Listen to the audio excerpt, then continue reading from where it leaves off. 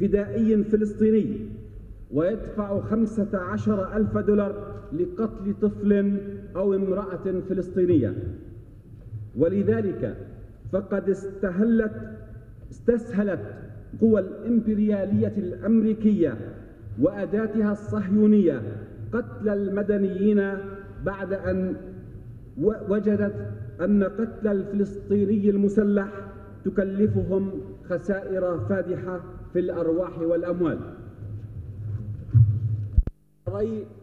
طرد ونفي المناضل بسام الشكعة واعتقاله لم يكن لمجرد قوله بأنه ما دام الاحتلال قائم فإن العمليات العسكرية مستمرة. إن وراء تلك القرارات هدف سياسي القصد منه التخلص من القيادات الوطنية المنتخبة. التي رأت في اتفاقات كامب ديفيد والحكم المدني الإداري محاولة لتصفية قضية الشعب الفلسطيني ووجوده على أرضه ومنح الشرعية للاحتلال الصهيوني. لقد رفضت هذه القيادات هذه الاتفاقات وعبأت جماهير شعبنا ضدها فأصبح من المستحيل وجود شخص واحد يرفع صوته إلى جانب الحكم المدني الإداري.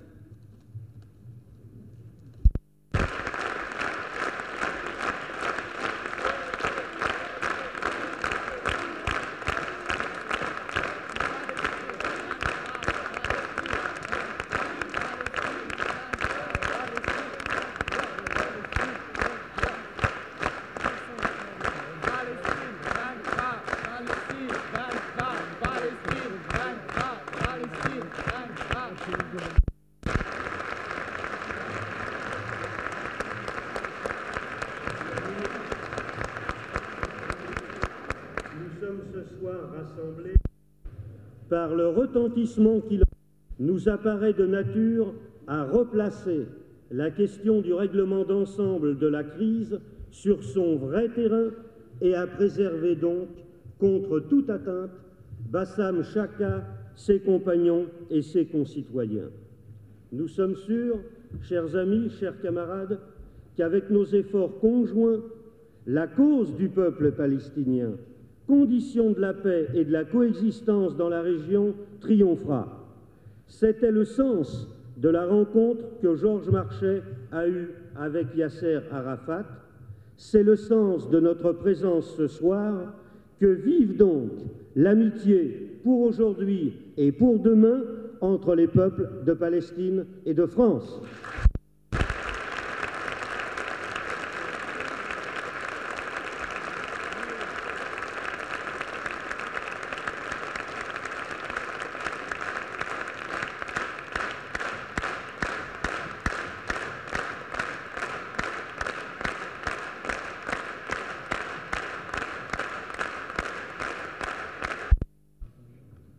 non pas pour étaler des protestations, mais je l'espère.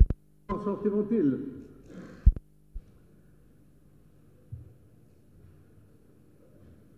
Avec une révision déchirante Il ne semble pas que ce soit le cas et on peut craindre toute autre chose. On peut craindre en effet que soit ressuscitée à cette occasion la vieille politique de la canonnière, c'est-à-dire de l'intervention militaire. Il y a à cet effet, on nous l'a annoncé, un corps expéditionnaire américain tout près et qui pourrait agir avec les moyens considérables dont dispose ce pays euh, très vite. Mais où agira-t-il S'il s'agit d'une démonstration de force, je crains qu'au lieu d'aboutir à un apaisement, eh bien, comme pour Israël, comme pour la Cisjordanie et Gaza, eh bien, ce sera au contraire un motif supplémentaire pour les masses de se révolter contre les forces de domination. S'il s'agit euh, de prendre en main les puits de pétrole et de surveiller l'écoulement de l'or noir dans les pipelines, alors je me pose la question et je me demande s'il n'y a pas là-bas, tout près, beaucoup de Palestiniens. Vous me comprenez? Je n'insisterai pas davantage.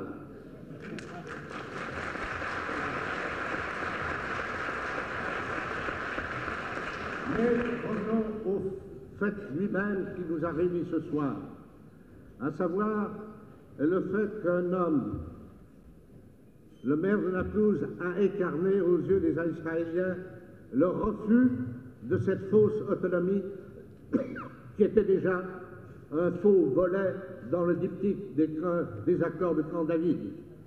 Ces accords de Camp David qui sont trahis, transformés pour les Palestiniens, pour cette autonomie, pour cette autonomie qu'on devait leur accorder comme une véritable imposture.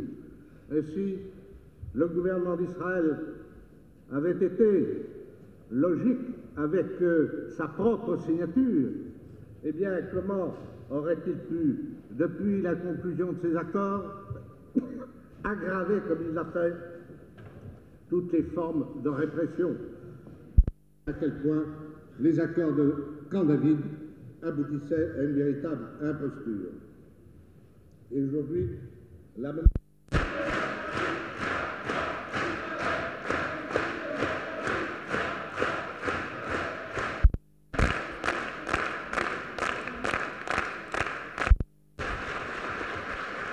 Que cesse ce déchaînement hystérique contre la révolution iranienne. Nous le disons clairement. Nous sommes derrière le peuple iranien.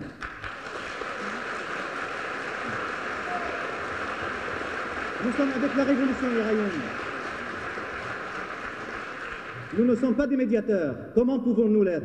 Nous sommes dans la même tranchée avec la révolution iranienne. Nous ne, pouvons nous ne pouvons pas être des médiateurs entre la révolution iranienne et l'impérialisme américain.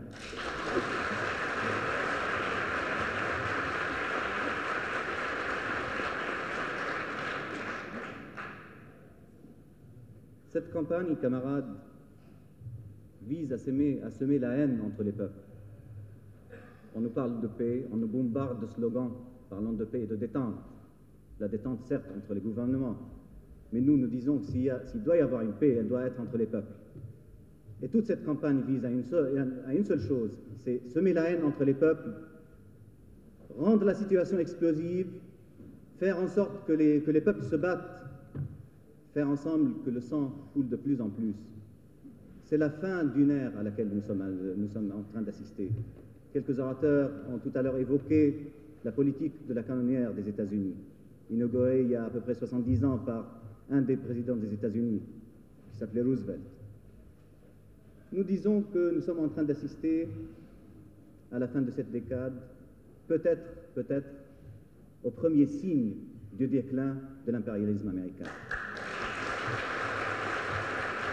Et enfin, vive la solidarité entre le peuple français et le peuple palestinien.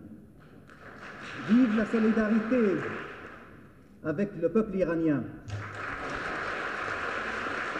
Vive la lutte des peuples arabes. Et à la fin, Palestine vaincra. Palestine vaincra.